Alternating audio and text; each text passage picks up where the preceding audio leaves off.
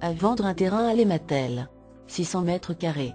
Pour plus de détails, cliquez sur cette vidéo miniature.